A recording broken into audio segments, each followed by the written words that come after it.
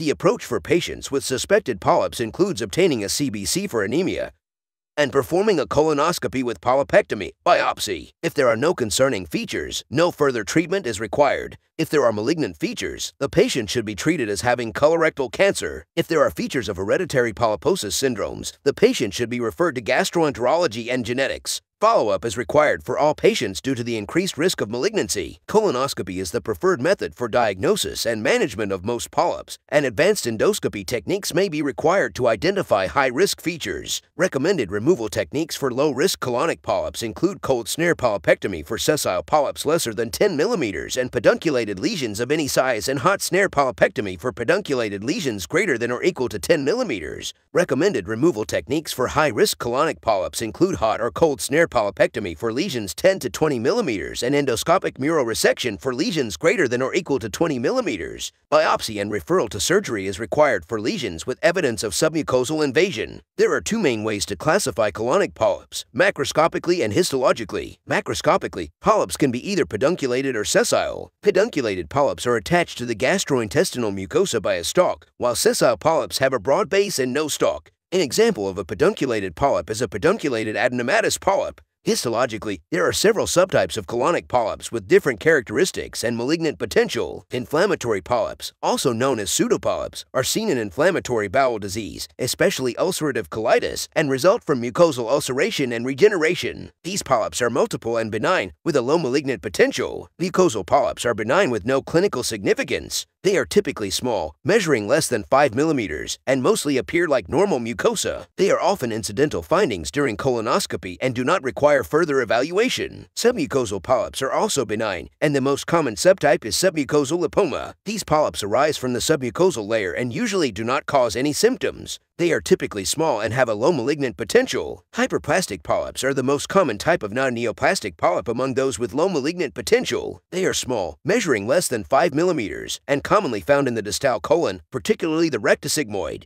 Hyperplastic polyps may transform into serrated polyps, which have a higher malignant potential. The histology of hyperplastic polyps is characterized by hyperplasia of normal cellular components with a sawtooth, serrated pattern of crypt epithelium. Hamartomatous polyps may occur throughout the gastrointestinal tract and are composed of normal tissue native to the site of origin, such as the colon, but with disorganized growth. Hamartomatous polyps are associated with several syndromes, including juvenile polyposis syndrome, Peutz-Jeghers syndrome, Cowden syndrome, and Cronkhite-Canada syndrome. These polyps have a low malignant potential when solitary, but when associated with syndromes, there is an increased risk of colonic and extracolonic malignancies. Serrated polyps can be subdivided into sessile serrated polyps and traditional serrated adenomas. Sessile serrated polyps are sessile lesions larger than 5 millimeters in size and are common in the proximal colon, with a morphology similar to hyperplastic polyps. They have a moderate malignant potential, estimated at approximately 5%. Traditional serrated adenomas are common in the rectosigmoid and have a serrated architecture with dysplasia and a sawtooth pattern of crypt epithelium. Adenomatous polyps have the highest malignant potential among colonic polyps. They can be further classified into three types based on their histology, tubular adenoma, tubulovillous adenoma, and villous adenoma. Tubular adenoma is the most frequent subtype, forming tubules anywhere in the colon with a low malignant potential of less than 5%.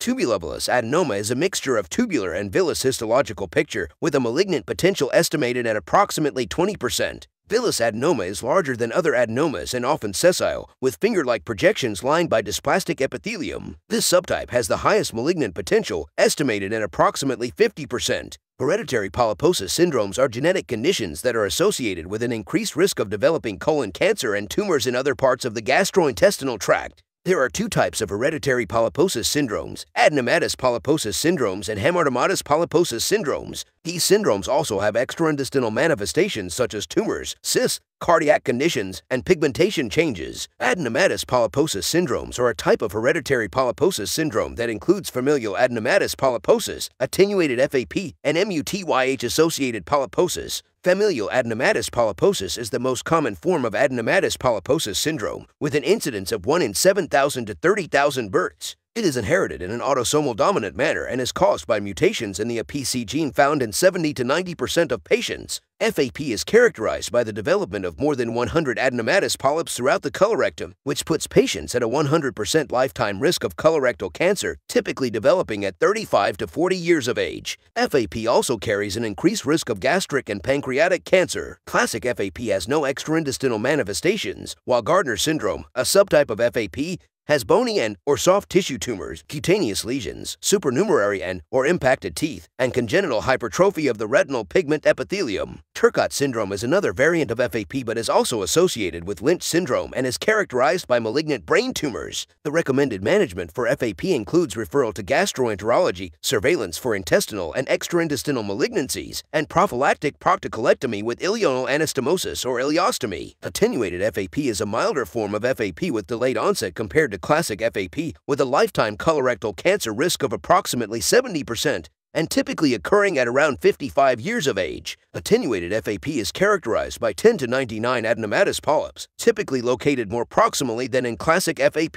The recommended management for attenuated FAP is similar to FAP, including surveillance and colon polypectomy that may delay or obviate the need for preventive surgery. MUTYH-associated polyposis is a rare autosomal recessive form of adenomatous polyposis syndrome with a lifetime colorectal cancer risk of 43 to 100%, typically occurring at around 50 years of age. MUTYH-associated polyposis is caused by mutations in the MUTYH gene found in 16 to 40% of patients and is characterized by 20 to 99 colorectal colorectal adenomatous polyps. MUTYH-associated polyposis also carries an increased risk of ovarian, endometrial, breast, thyroid, and skin cancers. The recommended management for MUTYH-associated polyposis includes surveillance, colon polypectomy, and surgery referral if there are too many polyps to manage endoscopically. Individuals with hereditary polyposis syndromes should undergo early and regular screening and be referred for genetic counseling. At-risk family members who decline genetic testing should undergo the same endoscopic surveillance as individuals with known mutations.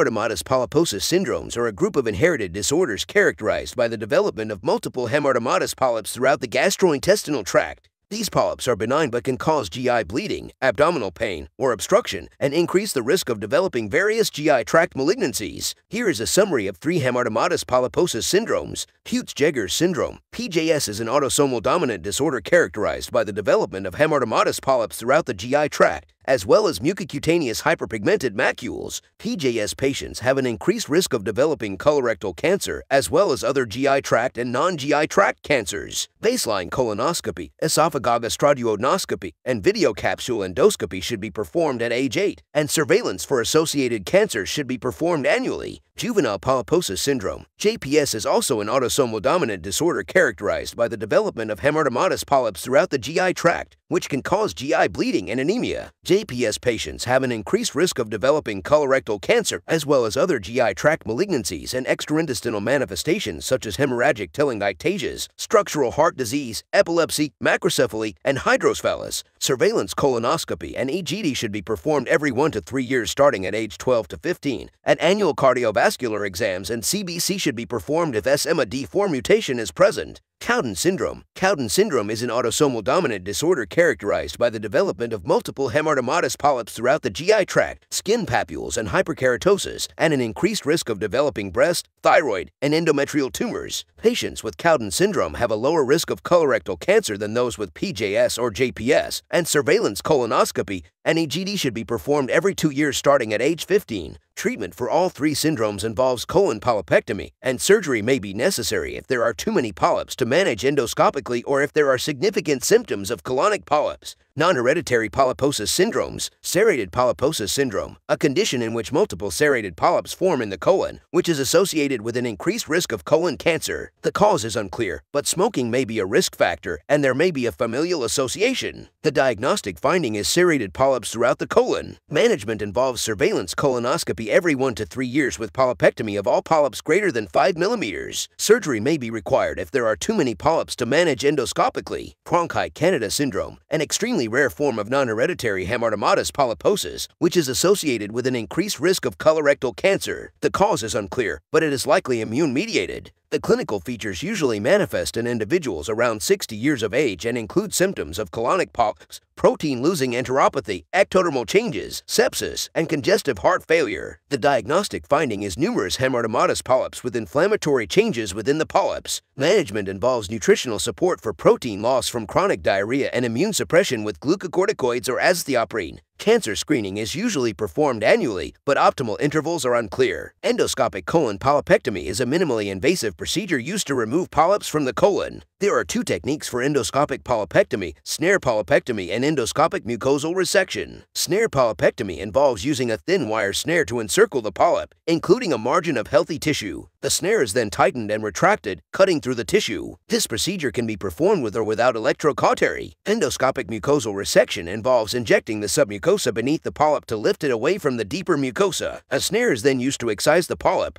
Complications of endoscopic colon polypectomy include postpolypectomy bleeding, bowel perforation, and postpolypectomy coagulation syndrome. Postpolypectomy bleeding is lower gastrointestinal bleeding that can occur up to 30 days after the procedure. Risk factors for post polypectomy bleeding include anticoagulant use, chronic renal disease, cardiovascular disease, large polyp size, and polyps located in the ascending colon. Intraprocedural bleeding should be managed with endoscopic hemostasis, while post-procedural bleeding requires stabilization of patients with hemorrhagic shock and urgent consultation with gastroenterology. Periprocedural measures can be taken to prevent postpolypectomy bleeding, such as periprocedural management of oral anticoagulant therapy for patients on anticoagulants, ligation of pedunculated polyps greater than or equal to 20 millimeters prior to removal, and injection of a vasoconstrictor. Bowel perforation is another complication that may occur during endoscopic colon polypectomy polypectomy. If suspected or confirmed malignancy is present, colon resection may be required. Additionally, hereditary polyposis syndromes may require surgical polyp removal and or colonic resection, especially for large polyps.